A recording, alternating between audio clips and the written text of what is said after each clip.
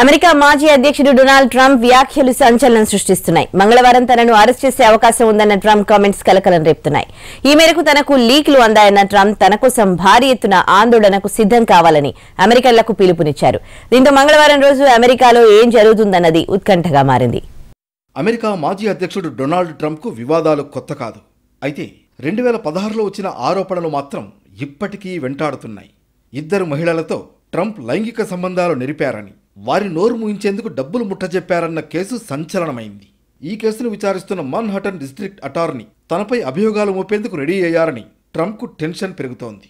ఏకంగా తనను అరెస్టు చేస్తారన్న లీకులు అందాయని ట్రంప్ వెల్లడించడం కలకలం రేపుతోంది. మంగళవారం తనను అరెస్టు చేసే అవకాశం ఉందంటూ ట్రంప్ చెప్పారు. తన సోషల్ మీడియా ప్లాట్ఫామ్ ట్రూత్ సోషల్లో పోస్ట్ పెట్టారు ట్రంప్. పెద్ద ఎత్తున నిరసనలకు దిగాలని అమెరికన్లకు పిలుపునిచ్చారు. అధ్యక్షుడిగా తాను ఓడిపోయినప్పుడు కూడా ఇలాగే తన అనుచరుల్ని రెచ్చగొట్టి కల్లోలం రేపారు ట్రంప్. తాజాగా మరోసారి నిరసనలకు పిలుపునివ్వడంతో పోలీసులు అప్రమత్తమయ్యారు. భద్రతా చర్యలు తీసుకుంటున్నారు. తనపై నిరాధార ఆరోపణలు చేస్తున్నారని ట్రంప్ చెబుతున్నారు.